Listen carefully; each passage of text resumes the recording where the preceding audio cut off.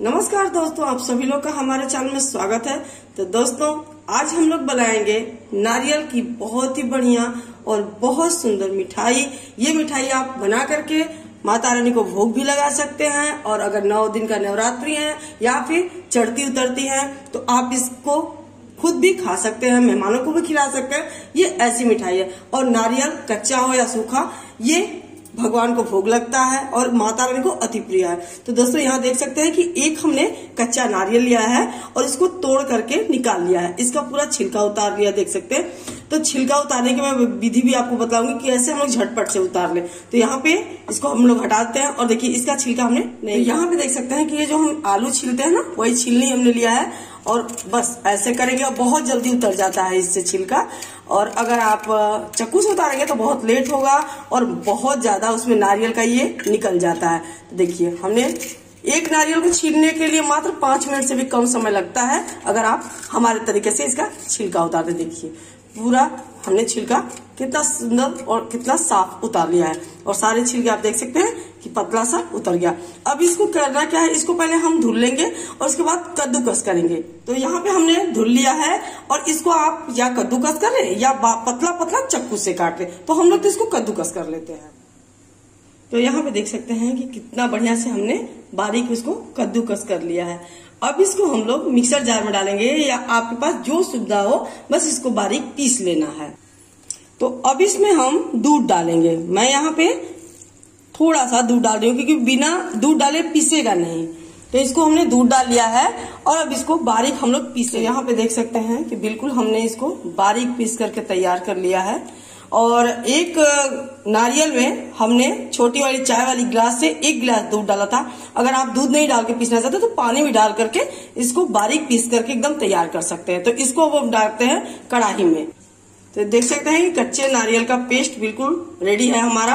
अब इसको चढ़ाते हैं हम लोग गैस पे चढ़ा दिया है और इसी समय में सारी सामग्री डाल दूँगी। मैं बाद में नहीं डालूँगी क्योंकि साथ में हमको भून करके इसका बिल्कुल बढ़िया सा मिठाई का हमें भी देख सकते हैं कि जो ये दूध का हम हमने डेढ़ लीटर दूध का ये रबड़ी तैयार किया था। इसलिए हमने भून करके तैयार किया था। मावा बिल्कुल सूखा मावा तैयार नहीं था पर ये हमारा रबड़ी की तरह हमने इसको डेढ़ लीटर दूध को अच्छे से भून कर तैयार कर लिया। और इसी नारियल के पेस्ट में हम इसको मिला दे रहे हैं। और अब इसमें हम जो जो सामग्री डाल रहे हैं, बस आप देखते जाइए। तो इसमें हमने दूध, डेढ़ लीटर दूध का रबड़ी डाल दिया है इसमें। आप आधा लीटर भी इसको दूध में बना सकते हैं पावर भी दूध में बना सकते हैं। पर हम लोग के गाँव में इस समय फ़िलहाल हमारे घर में गैया है तो दूध और घी की कमी नहीं है दोस्तों। और यहाँ पे गाय का बिल्कुल अच्छा सा एक चम्मच हम घी डाल रहे हैं तो इसी समय हमने इसमें घी भी डाल दिया है।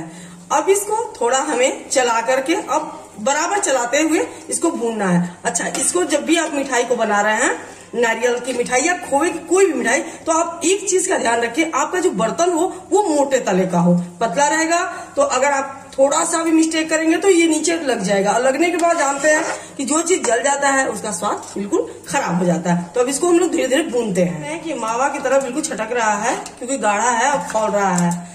हमारी जो दूध की रबड़ी थी और ये। अब इसमें डाल देते हैं चीनी। चीनी आप कम ज़्यादा मिठास अपने अनुसार करूँ मैं। इसमें 250 ग्राम चीनी डाल रही हूँ, क्योंकि डेढ़ लीटर दूध का रबड़ी है, एक नारियल का गोला है पावर दूध ऐसे हमने डाला था पीसते समय। और इतने में हम 250 ग्राम चीनी डाल रहे हैं। अगर आपको और मीठा चाहिए तो और बढ़ा सकते हैं। तो हल्की मिठास वाली ये नारियल की भोग मिठाई बहुत बढ़िया बनती है। दीपावली, होली कभी भी आप बना सकते हैं दोस्तों, जब तक ये अच्छे से मिठाई का डो न बनने लगे, जिसे गोल गोल हमें बनाना है, और आप इसको तेज आँच में भूने बराबर चलाते हैं। दोस्तों, देख सकते हैं कि हमारा जो मिठाई का बेटर है, वो बिल्कुल कढ़ाई छोड़ रहा है। और अब इसमें इलायची पाउडर डाल देंगे और गैस बंद कर देंगे और ठंडे होने पे आपको जो सेब देना हो मिठाई का दे करके, और महारानी को दुर्गा जी को भोग लगाइए, भगवान को एकदम अर्पण करिए, इसके बाद खुद भी प्रसाद के रूप में आप यहाँ पे हम इलायची का पाउडर डाल देते हैं। इलायची हमने अच्छे से कूट के डाल दिया है। अब इसको सारे बटर में अच्छे से मिठाई वाले में मिला देते हैं और अब इसको ठंडा होने देंगे। जब ठंडा हो जाएगा तो इसकी हम लोग मिठाई तो यहाँ देख सकते हैं कि बिल्कुल अच्छे से दानेदार आपको दिख रहा है, एकदम रवादार। इतना टेस्टी है कि अगर आप एक बार बनाएँगे ना तो हमारे तरीके से बार बार आप नारियल से मिठाई बना करके किसी भी समय आप इसको बना सकते हैं। तो देखिए, अब हमने हाथ पे थोड़ा सा देसी घी लगा लिया आपने, और बस थोड़ा सा लेंगे। और देसी घी नहीं लगाना है आपको तो बिना घी के भी इसको आप गोल गोल राउंड राउंड बना दीजिए। तो दोस्तों, अब हमने नवरात्रि के लिए इसको डाला है, और बीच में हम आपको जो हम हेल्दी थाली बनाते हैं वो भी आपको बना करके बिल्कुल दिखाएँगे। तो नवरात्रि था तो सोचा कि हमने आपके लिए इस प्रसाद को बना देते हैं कच्चे नारियल से और आप लोग भी इसको ज़रूर बना करके माता रानी को चढ़ा यहाँ पे देख सकते हैं कि हमारा प्रसाद बन करके रेडी हो गया है और आप इसको ऐसे भी बना सकते हैं किसी फ़ंक्शन पे भी बना सकते हैं या फिर पूजा पाठ आपके घर में है नवरात्रि तब भी बना सकते हैं। तो बिल्कुल बन करके बहुत ही स्वादिष्ट बहुत बढ़िया माता रानी के लिए कच्चे नारियल का प्रसाद बनकर तैयार है। आप लोग इसको ज़रूर बनाइएगा, बना करके भोग लगाइएगा, उसके बाद खुद भी इसको प्रसाद के रूप में ग्रहण करिएगा और हमें ज़रूर कमेंट करके बताइएगा कि जो कच्चे नारियल और दूध से ये मैंने आपको बनाना मिठाई बताया, कैसा लगा? हमारी वीडियो हमारी वीडियो अगर आप लोग को अच्छी लगी हो तो लाइक करिएगा कमेंट करिएगा सब्सक्राइब करना बिल्कुल मत भूलिएगा हमारे चैनल को। तो हम लोग फिर मिलेंगे अगली वीडियो में, तब तक के लिए नमस्कार।